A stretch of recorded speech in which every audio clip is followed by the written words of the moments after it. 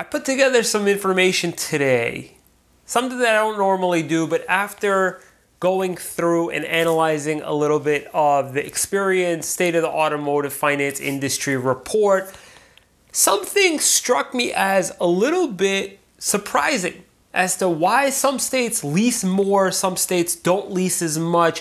What's the science behind this? I want you to know that in the description below there's multiple resources to help you when you're shopping around for not only the best car deal, but to check out insurance rates as well as your FICO auto scores.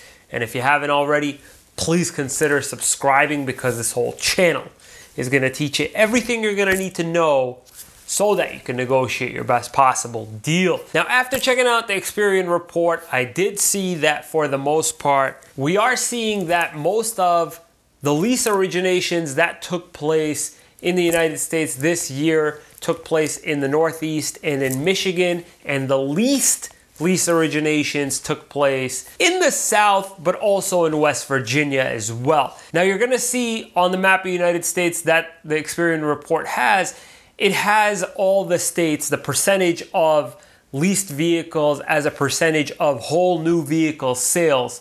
Um, this doesn't take into account previous year sales, it's just whatever was sold up until quarter two for that year. Going from highest to lowest, you guys, highest lease percentage was 70.1% in Michigan, going down this list, going all the way to 48.8 in Massachusetts, and going into lowest lease percentages New Mexico at 7.7%, going all the way down to 2.9% for Arkansas. Now, just dissecting this a bit further, you're going to see the map completely emptied out, and it's in the south, it's red, in the northeast, it's green. And somewhere between Michigan and West Virginia, that green and red sort of meet.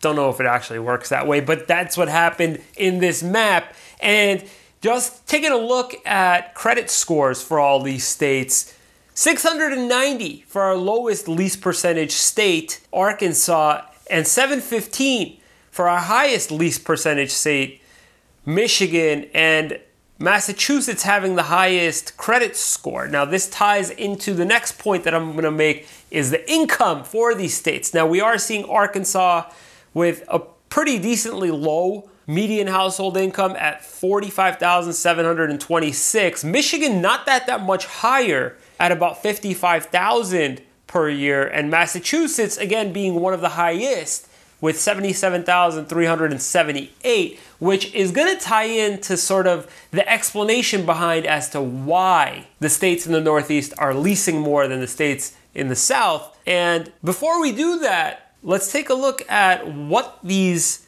states are actually leasing. So just taking a look into iSeeCars data that they provided for new vehicle sales in 2020, Michigan, the most sold vehicle, new vehicle at least, was the Ram 1500. Going down this list, the Hyundai Tucson for Connecticut and New York, the Honda CRV for New Jersey and Massachusetts, and then we start getting into pickups. New Mexico, the Ford F-150, Louisiana, the Ford F-150, Oklahoma, the Silverado, West Virginia, the Ford F-150, and Arkansas with the GMC Sierra 1500. Now, being it that income is generally higher in the Northeast, we're seeing small light SUVs coming in at more popular on the list, with Michigan being the exception, which pretty much is the capital of the big three anyway, so I can imagine why the Ram 1500 is the most popular there, if not the Ford F 150. But anyway, the highest income states are driving the cheaper vehicles, probably better to lease vehicles, and they're driving them probably to commute to their nine to five office type jobs or maybe even work from home commuter cars going to the grocery store etc in the South, you don't really need a pickup truck to go to an office job or a 9 to 5, but you probably end up doing that anyway. Nothing against anybody in the South. But realistically speaking, the people that are driving these pickups are probably working more into the whole I need a pickup for work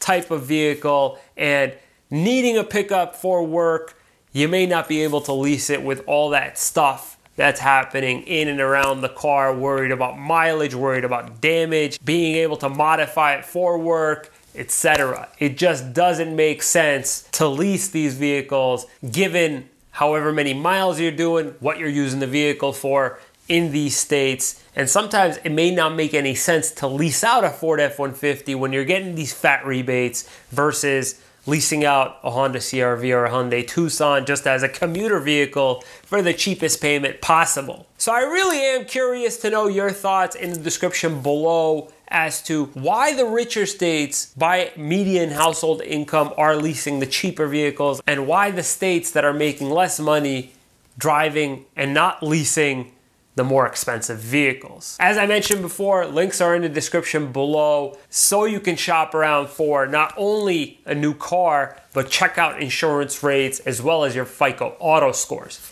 If you found this information useful, please consider subscribing. Thank you so, so much for watching, guys. We'll see you next time.